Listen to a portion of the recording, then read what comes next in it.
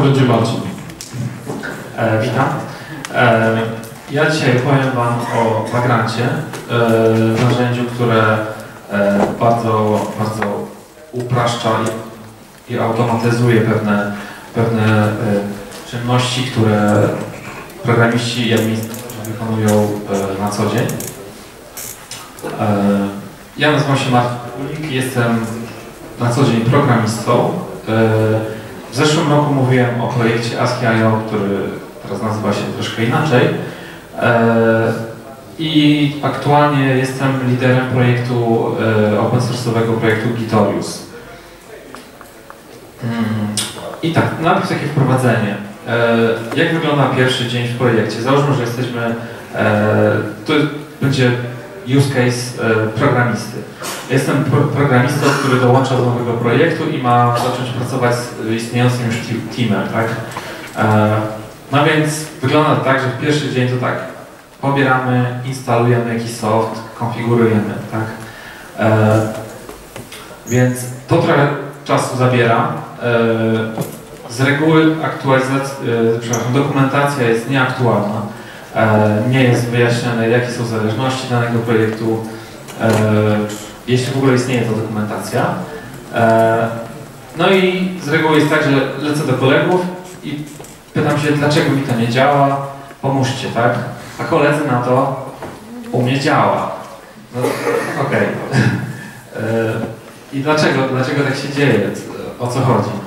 No więc używamy różnych systemów. Ja używam na przykład Fedory, ktoś używa Ubuntu, ktoś używa Ubuntu w innej wersji, a musimy pracować nad tym samym projektem, który ma jakieś konkretne, specyficzne zależności, wymaga konkretnych wersji konkretnych wersji oprogramowania. Również nawet jeśli mamy ten sam system, tą samą wersję, no to w, różnych stan, w różnym stanie są te systemy, tak? Jak mój system może być w troszkę gorszym stanie, ponieważ ja lubię eksperymentować i nie wiadomo, co ja tam zrobiłem, tak? No i czasami projekty posiadają różne egzotyczne zależności, które nie są łatwe lub oczywiste w instalacji. No i jesteśmy tylko ludźmi, popełniamy błędy, nie ma co się oszukiwać.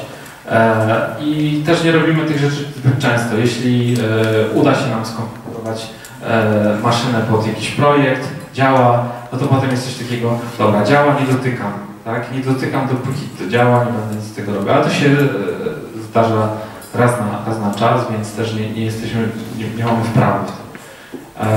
No i to oznacza, że tak, marnujemy czas tak naprawdę. E, pojawiają się pewne nieścisłości, bo niby każdy sobie skonfigurował ten system pod, pod ten projekt, ale każdy tam popełnił kilka innych błędów. E, niby działa, a potem się okazuje, że są jakieś tam e, nieścisłości, które, które również e, sprawiają, że tracimy czas. E, no i jest, jest też takie coś, że, że mamy po, pokonfigurowaną tą maszynę z tym wszystkim, co potrzeba, żeby móc pracować. No i na przykład wychodzi nowa wersja Fedory i chcielibyśmy upgrade'nąć, no ale tam jest, coś się zmieniło, no i trzeba przeinstalować, ale wiemy, że jak to zrobimy, to będziemy stawiać wszystkie te rzeczy, wszystkie te, całe to oprogramowanie potrzebne do, do, do pracy nad projektem. No i to nas też czasami blokuje przed różnymi fajnymi rzeczami. No więc Załóżmy, że prawie się udało. Wyglądamy jak ten gość, który po całym dniu walczył, walczył i udało się, tak? E, I potem przychodzą jakieś aktualizacje. My jesteśmy tutaj e, po lewej stronie, fajnie, więcej staffu, ale e, znów może się pojawić sytuacja, że przez upgrade naszego systemu projekt, na którym, jeden z projektów, na którym pracujemy przestaje działać, bo coś, tak? No i, i znowu jest ten problem. No ale załóżmy, że wszyscy mamy te identyczne środowiska, no to, to jeszcze jest tak, że potem te aplikacje, nad którymi pracujemy, one lądują na produkcji, tak? Tam jest zupełnie środowisko e, e, niż, niż nasz desktopowy laptop. E, no i jeszcze jest taki problem, że na przykład ja pracuję nad projektem A i on wymaga PHP 5.2, tak? E, a przychodzi mi za tydzień zacząć pracę również równolegle nad projektem B, który wymaga PHP 5.3, tak? No i tutaj już się pojawia to, że no nie, i, i powiedzmy, że te wersje tych PHP-ów są nie do e, pogodzenia razem i, i żaden z tych projektów nie zadziała z inną wersją. No i tutaj też jest ten problem, że no co tutaj począć? Tylko się wściec, tak? E, więc e, rozwiązaniem tych problemów jest mm, według mnie projekt Vagrant, który e, według, e, według autorów, to jest cytat ze strony projektu, twórz i konfiguruj lekkie, reprodukowalne i przenośne środowiska deweloperskie. E, no i jak, misja Vagranta jest taka, żeby skrócić czas konfiguracji środowiska deweloperskiego.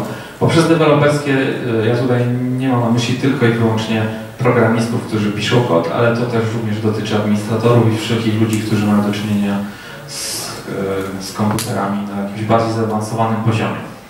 E, zbliżyć development do środowiska produkcyjnego, czyli żeby pracować w takim bardzo zbliżonym środowisku, na jakim ta aplikacja będzie działać później docelowo. E, no i wyeliminowanie u mnie działa, e, żeby nie było takich sytuacji, że komuś działa, komuś nie działa, wszystkim ma działać tak samo. No i dzięki Wagnerowi nie pierwszy dzień, ale pierwsze 10 minut w projekcie e, może wyglądać właśnie w ten sposób. E, klonujemy sobie repozytorium z kodem projektu e, i wewnątrz uruchamiamy komendę Vagrant App. I dzieje się magia tutaj. E, konkretnie możemy już e, po 10 minutach otworzyć sobie przeglądarkę, e, wejść na localhost i powiedzmy taki przykładowy port i zobaczyć w pełnej chwale e, aplikację przykładowo webową, która, która działa, jest skonfigurowana i wszystko jest fajnie. Więc jak to działa? Vagrant wykorzystuje domyślnie wirtualną do tworzenia tych środowisk i tworzy maszyny wirtualne z obrazów. W terminologii Vagranta są to tak zwane boxy. Automatycznie może skonfigurować oprogramowanie na takim świeżym obrazie. Automatycznie może nam forwardować porty z hosta do, do gesta, czyli tak jak było to 80-80 do środka. W środku powiedzmy, że tam działa Apache. Automatycznie e, montuje nam katalog aktualny na naszym hoście, czyli katalog z projektem e, do, do, maszyny, do, do maszyny, do środka pod e, slash background i to jest obustronne, jeśli będziemy zmieniać te pliki wewnątrz w środku, no to zmiany będą dostępne na hoście. I pozwala nam w bardzo łatwy sposób zalogować się do tej maszyny do środka, jeśli, jeśli mamy taką potrzebę. E, więc tak naprawdę e, Vagrant jest interfejsem do VirtualBoxa, przyjazny, przyjazny e, deweloperowi. To jest zestaw takich najważniejszych poleceń, które on oferuje. Ja zaraz omówię pokrótce kilka z nich.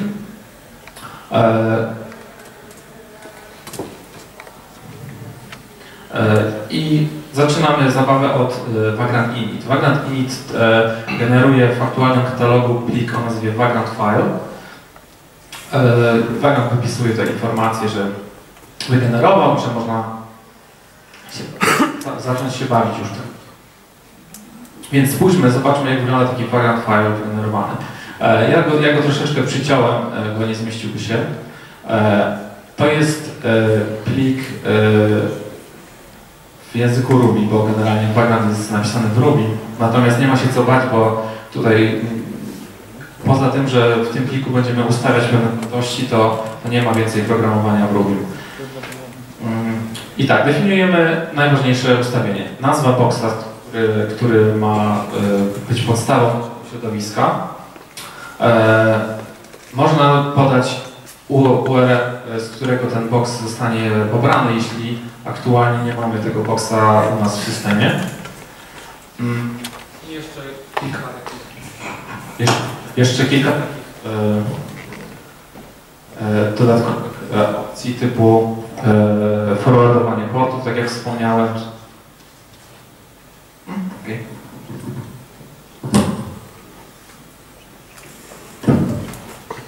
Okay. E, dobra, e, więc tutaj widzimy mapowanie portów, można zdefiniować w jaki sposób jest e, sieć dostarczona do, tego, do tej maszyny wirtualnej i on obsługuje właściwie wszystkie te opcje, które VirtualBox można, w VirtualBoxie można wyklikać. E, no i można dodatkowe foldery sobie e, wyszerować do, do środka do maszyny. E, I tak, wspomniałem, że obrazy, znaczy maszyny stworzone są z boxów, czyli z takich obrazów. Są oficjalne, udostępnione przez projekt Boxy, oparte na, na dwóch wersjach Ubuntu.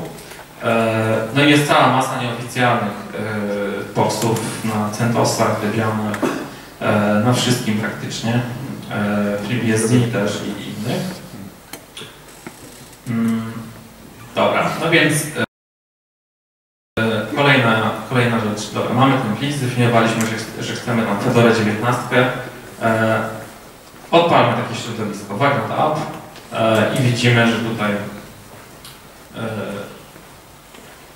Vagrant robi parę rzeczy, korzysta cały czas z API VirtualBoxa. E, więc tak naprawdę pod składem VirtualBox mocno pracuje. E, I to tyle, e, jeśli chodzi o uruchomienie maszyny. I od tego momentu można się do niej zastosować. Można, nie trzeba, ponieważ katalog aktualny projektu jest podmontowany do środka i załóżmy, że tam jest skonfigurowany Apache, żeby serwować z tego katalogu to można pracować sobie po prostu na hoście, na własnym laptopie, w własnym edytorze i, i z, używając Firefoxa czy czegoś yy, sprawdzać jak to działa, a to wszystko sobie tam kula w środku. Ale można sobie zalogować już z SSH do środka i yy, można też pracować po prostu w Vimie z, z wewnątrz, jak to lubi, lub jeśli to nie jest powiedzmy aplikacja webowa, tylko zupełnie coś innego, no to jest potrzeba, żeby w tamtym środowisku w środku pracować. Natomiast istotne jest to, że w ogóle nie widzimy, że to jest VirtualBox, nie widzimy GUI e, i nie musimy nigdzie klikać, nie potrzebujemy myszki.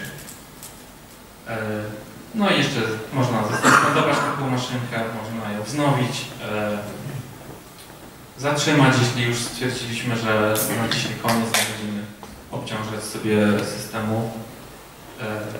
I można całkiem usunąć, czyli wtedy e, tak naprawdę cały, cały, mm, cała wirtualna maszyna zostaje usunięta, wszystkie dane stracone.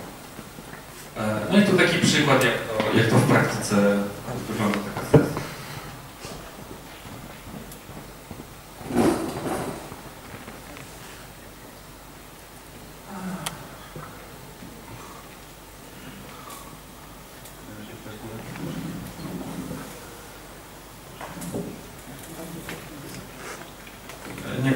taka sesja.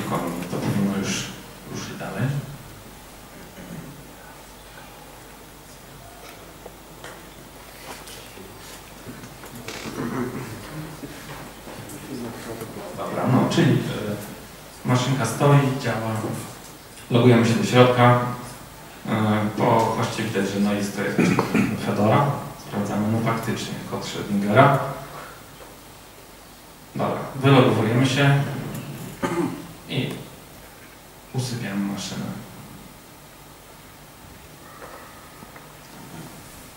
Jednak chcielibyśmy popracować, no więc wznawiamy.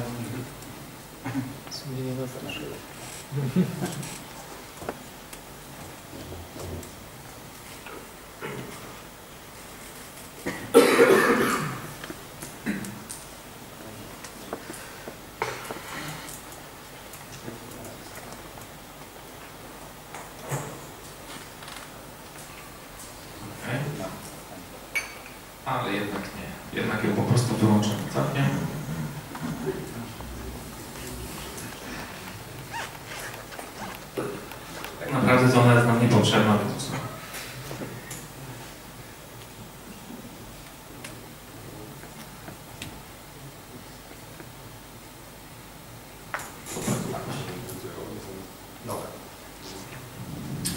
Więc to, to były takie podstawy, tak?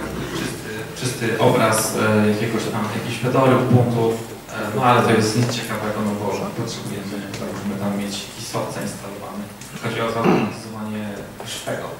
E, więc tak, najpierw parametry maszyny wirtualnej. Można E, można sobie e, konfigurować, ile taka maszyna ma RAMu. Domyślnie Vagrant nam daje 368 chyba MB. E, to może być w niektórych wypadkach mało, e, więc można sobie zdefiniować e, więcej.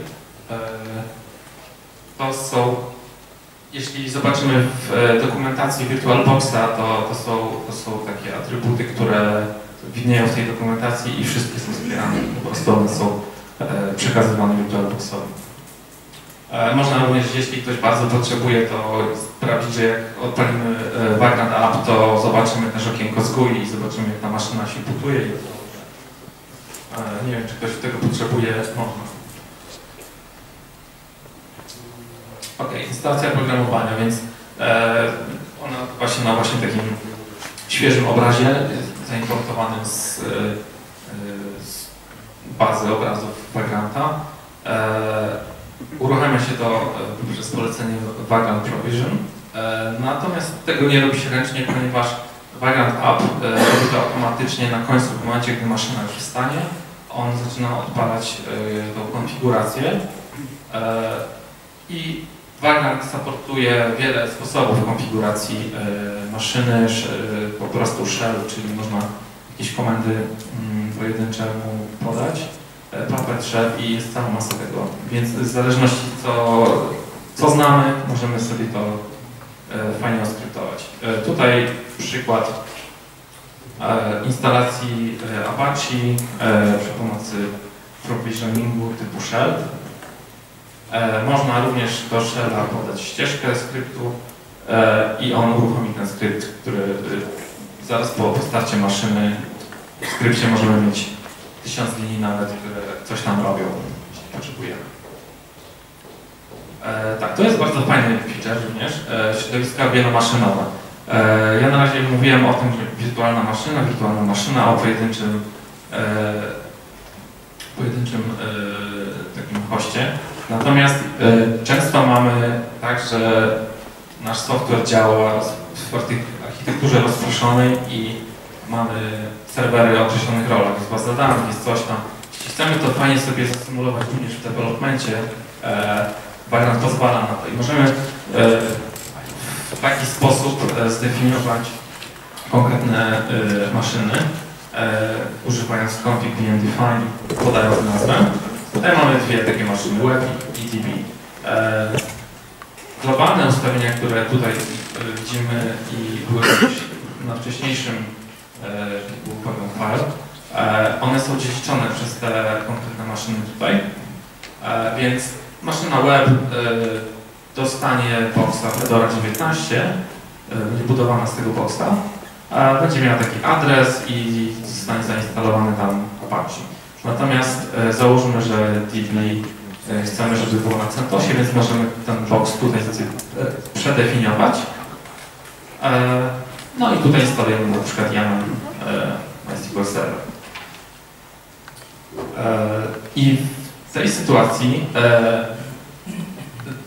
większość komand Vagranta już wymaga podania argumentu dodatkowego, którym jest nazwa tej, tej maszyny. E, więc jeśli nie podamy app do app, to ponosi nam wszystkie e, maszyny, które mamy równolegle. E, jeśli podamy, to wiadomo. Jedyne polecenie, e, jeśli dobrze pamiętam, które e, zawsze wymaga tego argumentu, e, znaczy nie można go pominąć w przypadku systemu środowiska wielomaszynowego jest no bo byłoby to ciężkie, żeby zastosować się z jednej sesji zermina do wielu maszyn żeby to miało ręce i nogi. E, tak. I tutaj mamy jeszcze taki przykład. E, załóżmy, że mamy taką, taki obraz e, wiem, bazujący na Fedorze. Jest fajnie skonfigurowany provisioning, żeby instalować tam cały soft konkretny. No ale załóżmy, że to się nie zmienia za bardzo, ta konfiguracja, ona ustabilizowała się e, i można zrobić coś takiego, żeby nie, nie tracić czasu i, i zasobów. E, w momencie, gdy robimy po raz pierwszy, e, uruchamiamy to, to środowisko poprzez e, można środowisko, które już jest skonfigurowane, spaczkować do takiego boxa i użyć go jako bazowy box. Wtedy nie potrzebujemy już dodatkowych e, komend i, i szefów, żeby to konfigurować, ponieważ już jest e, wszystko w środku gotowe. E, tak naprawdę możemy sobie taki box stworzyć nawet bez używania szefów papetów. Można czysty obraz uruchomić, zastosować się do środka, ręcznie skonfigurować, co potrzebujemy, wylogować się i spaczkować taki box i on już będzie gotowy. Tu jest jeszcze przykład taki, że tak, e, można jeszcze użyć nie tylko e, boxów vagrantowych, ale jeśli mamy jakąkolwiek dowolną wirtualkę VirtualBoxa, to można y, ją tak samo spaczkować do, do boxa, podając UUID te, tego, tej maszyny. To można w VirtualBoxie tam gdzieś wy, wygrzebać. E, I tak, providers. E, ja mówiłem, że VirtualBox jest domyślnym e, e, engine'em pod spodem, który, który tym zarządza. Natomiast e, background jest tak zbudowany, że architektura jest e, oparta o, o pluginy i tak naprawdę możemy wybrać sobie, co chcemy, żeby był potem pod spodem. Ja dosyć sporo mówiłem o VirtualBoxie, ponieważ to jest najbardziej stabilny i, i, domyślny, także każdy go ma e, ten provider. Ale Background oferuje również e, właśnie VMware e, oficjalnie e, oraz nieoficjalnie lokalnie są na, na zobaczyć sobie. LXC, KVM, AWS, OpenStack i tak dalej. Możemy sobie nawet na, zdefiniować jakieś tam e, credentialsy do OpenStacka w, background file'u wpisać. E, jeśli mamy konto na, na Open, znaczy jeśli gdzieś tam mamy jakieś konto OpenStacka skonfigurowanego e, i potrzebujemy na chwilę jakieś maszynki gdzieś tam, tak, no to można tak samo backgroundem sobie zrobić. Background app, dostajemy e, gotową maszynę, background SSH wtedy nie, nie, nie loguje się do, na localhosta, do VirtualBoxa, tylko po prostu tam e, do maszyny na. E, I prowajdery mają również e, swoją własną konfigurację e, i każdy już ma inny zestaw e, opcji konfiguracyjnych, ponieważ na przykład to jest specyficzna dla VirtualBoxa opcja. E, provider LXC tego nie posiada. Ale co jest ciekawe, można zrobić coś takiego, e, ponieważ e, te boxy nie są, e, nie można używać boxa z VirtualBoxa pod e, przykład, pod e, prowajderem LXC, no bo to są inne, inne sposoby uruchamiania środowisk, e, więc można zrobić takie coś, że definiujemy nazwę boxa globalnie, natomiast per e, provider można zmieniać e, do tego boxa i tutaj będzie box specyficznie zbudowano dla LXC na przykład. E, I żeby uruchomić e, środowisko pod innym prowajderem, e, podajemy coś takiego. I musimy mieć Linuxa. E, I teraz taki przykład, jak mm, ja po prostu sprawdziłem, jak ja używam e, domyślnie prowajdera LXC. E, A chciałem tak naprawdę zobaczyć jakieś liczby i sprawdzić, jak to wygląda, jeśli chodzi o szybkość e, uruchamiania takiej maszyny. E, Tu jest przykład e, uruchomienia e, środowiska pod VirtualBoxem. Puściłem to przez time, żebyśmy na końcu zobaczyli, ile tam czasu wyjdzie z tego. A zdradzę Wam, że wyjdzie trochę sporo, e, więc od razu możemy uruchomić to na LXC w międzyczasie. Zobaczmy, co tam się dzieje. No tu coś się dzieje jeszcze. A tu na LXC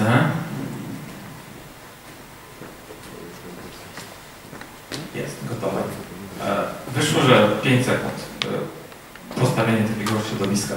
E, A widać, że VirtualBox jeszcze walczy. Więc e, ja chyba nie muszę tutaj nikogo przekonywać nad, nad tym, mm, która opcja jest e, lepszą opcją.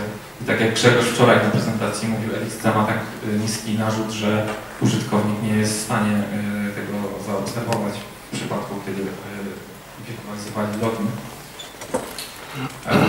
E, No więc to tutaj też wyszło, że e, no, VirtualBox jest, jest fajny, jest pełna izolacja, no ale wiemy, e, co się z tym wiąże. Ok. I tak. Zastosowania. E, tak jak wspomniałem, te przykłady, o których mówiłem, to były przykłady jakby z mojego świata trochę, ze świata programistów, gdzie ja na co dzień spotykam się z sytuacją, że muszę zacząć pracę przy nowym projekcie i, i to jest najgorsze, że wiem, że będę walczył z instalowaniem tego softu. E, więc to, to naprawdę fajnie rozwiązuje. I to ja nie mówię tylko o, o tak jak podałem przykład, aplikacja webowa. To może być na przykład przygotowane e, pełne środowisko do pracy nad kernelem, gdzie będzie tam wyczekautowane źródło kernela, cały toolchain potrzebny do, do pracy, wszystko gotowe, także można po prostu uruchomić CSS, schować się, zmienić, zrobić jakąś zmianę, skompilować, przetestować nawet, uruchomić tą maszynę z tym nowym kernelem i tak dalej. I to dotyczy się każdego projektu software'owego tak naprawdę. E, można sobie fajnie testować formułki Puppeta. Tak jak mówiłem, on e, Vagrant e, supportuje Puppeta i Szefa i całą masę innych. Jeśli chcielibyśmy sobie przetestować e, na takim lokalnym, lokalnej VMC. Bardzo łatwo można to zrobić i e, w momencie coś nie gra, od razu zobaczymy, tak, więc to jest też fajny case. Continuous Integration. Jeśli mamy jakiś, jakąś, jakiś zestaw testów do naszej aplikacji i pracujemy w taki sposób właśnie używając Continuous Integration, e, możemy uruchamiać te testy właśnie w takim wyizolowanym środowisku i Jenkins, który jest e, napisany w Javie, e, softwarem do, do, do palania testów automatycznie. E, właśnie może być do tego użyty, jest plugin do tego. E, każdy, ponieważ Jenkins uruchamia te buildy e, niekiedy równocześnie i różne, różne projekty tam działają z różnymi zależnościami, no z reguły jest tak, że po prostu na tym serwerze, gdzie Jenkins chodzi, trzeba zainstalować wszystko dla wszystkich. No i to fajnie może właśnie wyizolować. Przypuszczam, że też powstał już plugin e, do Jenkinsa, który wykorzystuje po prostu LXC na przykład. E, to jest bez używania. Natomiast to jest to, co e, też można użyć. Można sobie na przykład w bardzo szybki sposób tworzyć e, jakieś środowisko, gdzie będziemy mieć cały toolchain do budowania paczek. Chcemy budować paczki deva, no to tam musimy mieć jakieś te DH, coś tam, coś tam. Nie pamiętam nas tych e, pakietów. E, I dostajemy boxa, środowisko z konkretną wersją Ubuntu, taką, dla której praktikujemy, będziemy mogli tam przetestować i tak dalej. To samo można zrobić z Fedora i z wszystkim innym. A Dodatkowo to wszystko można robić używając nawet Windowsa, bo Vagrant też działa pod Windowsem. E, no i właśnie można się bawić hardkorowo, czyli jak normalnie na, na własnym laptopie, na własnym Linuxie, czasami fajnie byłoby się pobawić, coś zrobić, tu przekonwertować file system na coś innego, bo jest wyższy nowy albo jakiś fajny, fajny yy, feature yy, się pojawił. Ale się boimy, tak, bo stracimy dane, coś tam. To też można po prostu E, zrobić vagrant init, wpisać sobie nazwę, nie wiem, powiedzmy, że właśnie Fedora 20, beta, coś tam. E, vagrant app, w środku możemy się bawić. To jest kwestia kilku minut i nie musimy się e, bawić w klikanie w Virtualboxie albo w jakieś inne rzeczy. I dodatkowo, o czymś tutaj wspomniałem, można stworzyć sobie boxy z BSD. Podobno również z Windowsem. Natomiast ani jednego, ani drugiego nie próbowałem. Mm. Można spróbować. Ja nie miałem takiej potrzeby, natomiast podobno się da. Ok. To dziękuję bardzo. I...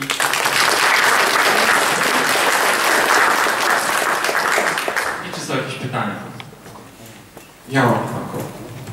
E budujemy sobie taką wirtualkę z całym środowiskiem deweloperskim i wychodzi na przykład nowy system operacyjny, czy Vagrant pozwoli nam na e, aktualizację, to będzie budowa nowej wirtualki?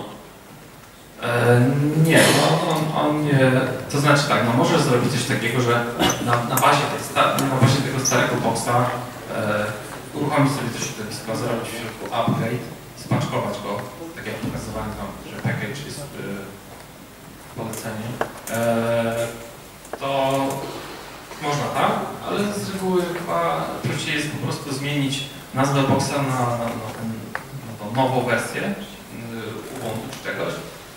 Biorą, i, zakładając, że mamy y, skonfigurowaną instalację oprogramowania, to się zainstaluje za nas i, będzie też działać, więc. Okej, dzięki. Okej, a mam pytanie, czy używałeś na przykład tej integracji Vagranta z Ansiblem do provisioningu? Bo kiedyś robiłem do tego podejście, to była jakaś taka bardzo wczesna wersja, tam nic nie działało. Nie wiem, czy coś się zmieniło w tej kwestii. E, Nie robiłem. E, Wiem, że ostatnio, bo e, support dla Ansibla mm, pojawił, taki oficjalnie ogłaszany pojawił się niedawno chyba. Dopiero w doksach e, oficjalnych on już tam jest i chyba w tym momencie to już jest stabilne i, działa. Sam się nie bawiłem, więc ciężko mi powiedzieć, ale wydaje mi się, że na chwilę obecną powinno być już dobrze, jeśli ty mówisz, że to było jakiś czas temu, e, a to już jest oficjalnie gdzieś tam e, wylistowane, to powinno być dobrze. Spróbuj. Okej, dzięki.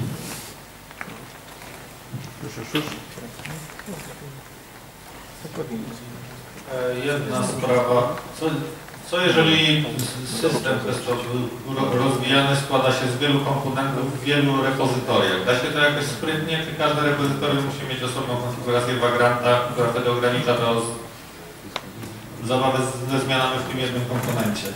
Mm, Wiesz co, tutaj jest kilka opcji. Można zrobić coś takiego, że e, stworzyć sobie, e, na przykład Gita, stworzyć sobie e, repozytorium, które będzie posiadało tylko i wyłącznie gitowe submoduły do tych e, wszystkich projektów, e, wszystkich repozytoriów, które dotyczą tego projektu i może zabierać oprócz tych submodułów po prostu ten background file, który konfiguruje te wszystkie maszyny na, na dany sposób. E, To jest jedna opcja. No inna opcja jest po prostu posiadać dla każdego, e, dla każdego repozytorium, czyli z reguły repozytorium równa się jakiś tam moduł, projekt. E, To można po prostu dla każdego z nich mieć osobny background file w każdym z tych repozytoriów i jeśli załóżmy, że jest pięć takich części składowych, ale nie musimy ich wszystkich mieć naraz uruchomionych, tylko na przykład chcemy integrację pomiędzy dwoma sprawdzać, tak? No to e, robimy background app w, dwóch e, katalogach tam, dla tych projektów, które potrzebujemy i można, możemy sobie po prostu skonfigurować też e, sieć tak, żeby te e, hosty się widziały i znały swoje SIP, więc e, jest, jest, jest kilka możliwości. Druga sprawa. Mówiłeś, że tam pliki z repozytorium są zamontowane pod jednym katalogiem w środku. Co jeżeli instalacja mm, danej aplikacji to nie jest, że to jest w jednym katalogu, tylko to jest y, ostatecznie te pliki muszą się znaleźć w, ró- w różnych miejscach w systemie plików z określonymi uprawnieniami i E, wiesz co, no można można... może to jakoś sprytnie synchronizować, to trzeba ręcznie jakiś make Wiesz co, nie, nie, można, można zrobić tak, że po, tak jak mówiłem, ten e, katalog e, aktualny e, na, na hoście jest montowany pod slash e, background w, na, na geście, tak? E, natomiast można zdefiniować dodatkowe ścieżki. Można sobie zrobić coś takiego, że na przykład e, w naszym projekcie mamy tam jakieś katalogi, które, które potem muszą być umieszczone gdzieś w różnych miejscach w systemie, więc można zdefiniować, że ten katalog ma pójść do var, e, lib coś tam, ten ma pójść do etc, a ten ma pójść gdzieś tam. I w ten sposób e, można nieskończoną liczbę tych, tych katalogów sobie tam, tam podrzucić. Mm,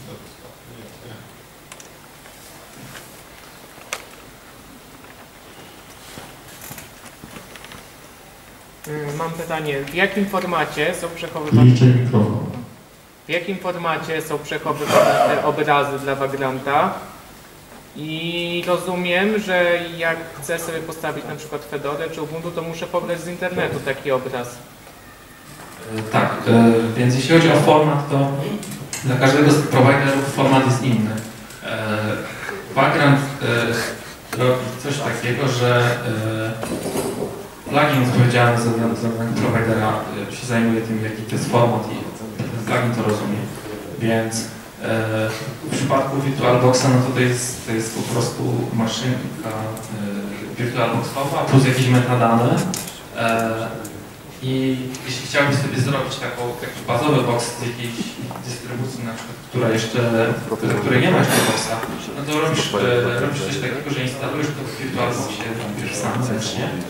E, Jest parę takich wymagań, które e, ta maszyna musi spełniać, żeby Wagan mógł z nią e, się komunikować, współpracować. Więc generalnie e, musisz stworzyć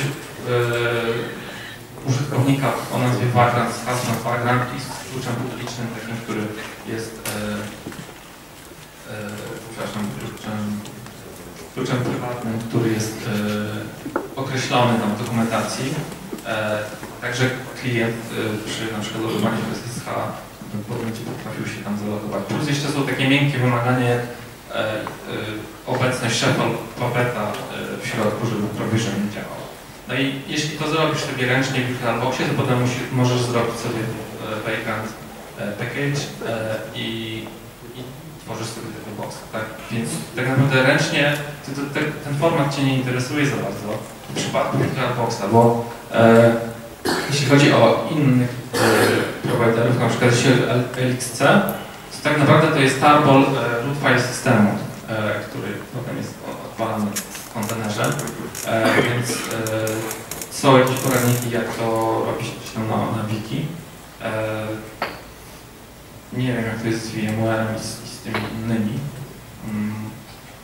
Natomiast tak to się różni i te instrukcje, jak zbudować własny box, e, będą inne. Takie pytanie, jak się nazywa? Ale to nie jest mój laptop. To jest ASCII Arts KDE. Połowa go go nie słuchała